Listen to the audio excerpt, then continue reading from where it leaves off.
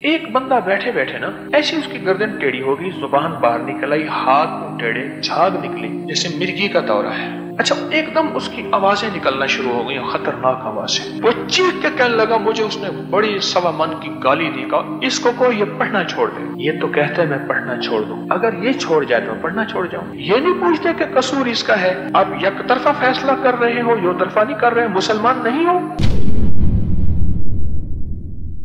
مجھے علم نہیں تھا، میں کالج میں پڑھتا تھا سیکنڈ ایئر میں تھا۔ مجھے علم نہیں تھا کہ اس نوجوان پہ کچھ جناتی اثرات ہیں۔ مجھے علم نہیں تھا۔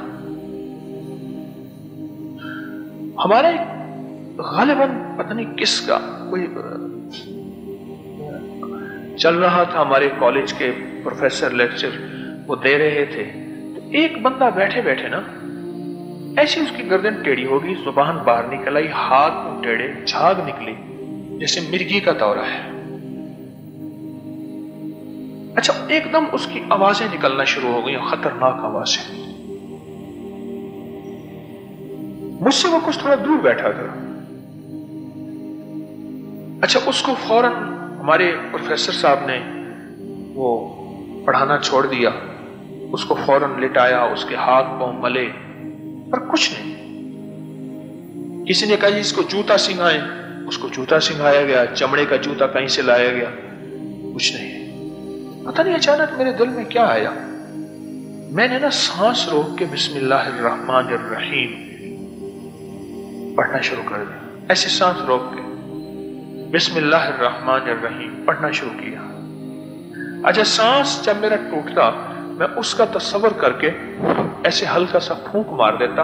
ایسا کہ کسی کو پتہ نہیں چل رہا تھا کہ میں اس کو پھونکے مار رہا ہوں۔ یہ میں اپنی زمانہ طالب علمی کی بات بتا رہا ہوں۔ تھوڑی ہی دیر ہوئی، اس کے ہاتھ پاؤں سیدھے ہوئے اور ہاتھ پاؤں سیدھے ہو کے نا، اس نے مڑ کے میری طرف دیکھا۔ ٹھیک؟ اور اپنی ایک بھرائی ہوئی، بھاری آواز میں کہا اور کتنی دفعہ بسم اللہ پڑھ کے ہمیں جلاؤ گے اور کتنا ہمیں تکلیف دو گے؟ یہ نہیں پوچھتے کہ قصور اس کا ہے۔ آپ یک طرفہ فیصلہ کر رہے ہو، یو طرفہ نہیں کر رہے، مسلمان نہیں ہو؟ غصے میں۔ مسلمان نہیں ہو، یک طرفہ فیصلہ کر رہے ہو۔ دونوں طرف سے نہیں پوچھتے کہ انہوں نے ہماری ہنڈیا میں پیشاب کیا تھا؟ کیا ہمارے، کیا تمہارے نبی نے تمہارے کہا؟ کیا تمہارے نبی نے دعا پڑھنے کا نہیں کہا؟ ہم اس کو معاف نہیں کریں گے۔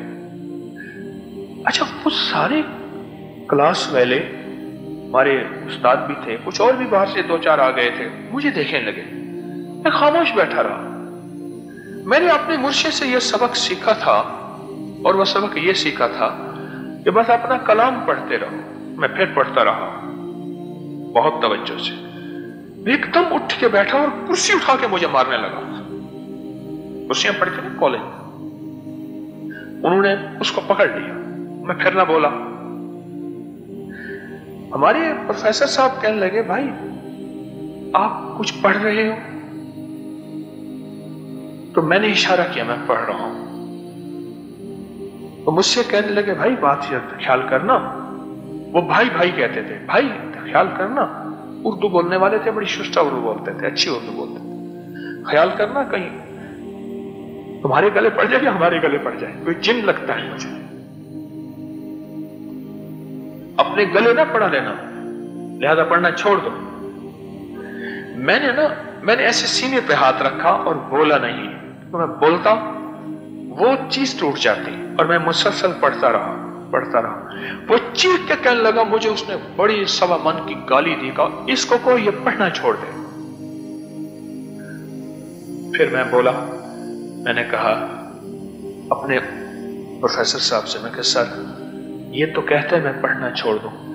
اگر یہ چھوڑ جائے تو میں پڑھنا چھوڑ جاؤں۔ پھر وہ چیخا کہ میں نہیں چھوڑوں گا اس کو۔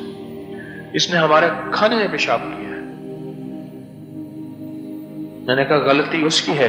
معافی میں مانگ لیتا ہوں۔ اس کو معاف کر دیں۔ اس کو چھوڑ دیں۔ میں آپ کی معافی مانگتا ہوں۔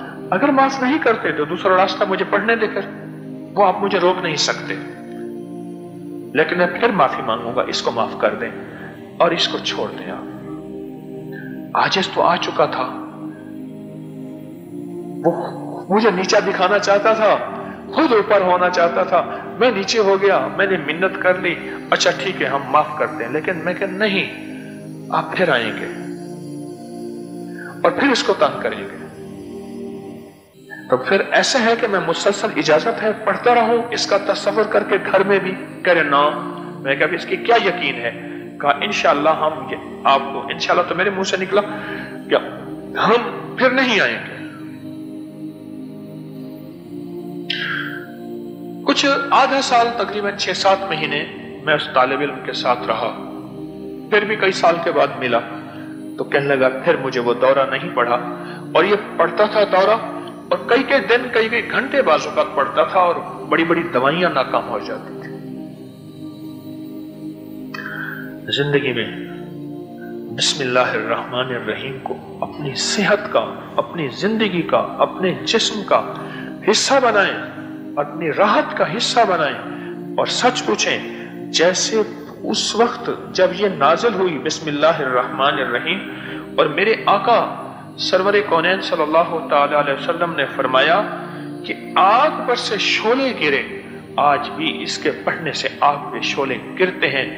جنات پہ، جادو پہ، شیاطین پہ، نظر بد پہ اور حاسدوں کے حسد پہ آج بھی شولے گرتے ہیں۔ ہمیں نظر نہیں آتے۔ جس طرح شولے نظر نہیں آتے، اس طرح اس کی طاقت اور تاثیر نظر نہیں آتی۔ لیکن شولے بھی حق ہیں، ضرور گرتے ہیں۔ اس کی تاثیر بھی حق ہے، ضرور ملتی ہے۔ ضرور۔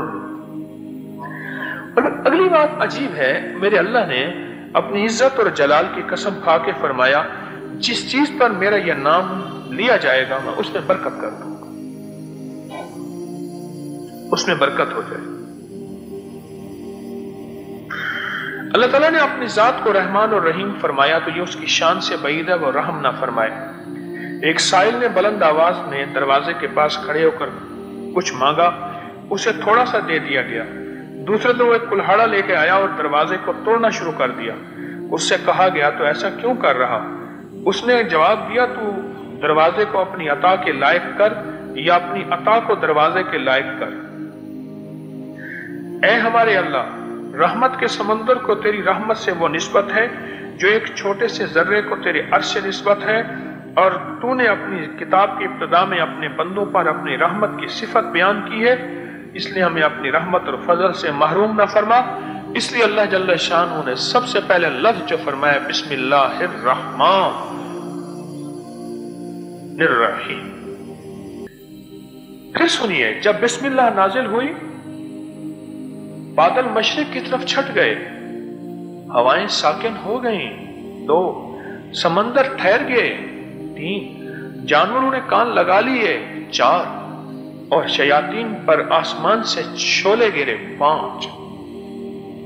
میں پانچ کے بعد رک رہا ہوں۔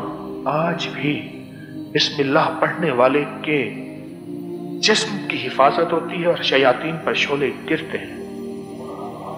اس ویڈیو کو لائک اور شیئر کریں۔ اب کری یوٹیوب چینل کو سبسکرائب کریں اور روزانہ زیادہ سے زیادہ سبسکرائب کروائیں۔ آپ دوسروں کے لیے صدقہ جاریہ بنیں گے۔ اللہ پہلے آپ کے دکھ ڈالے گا۔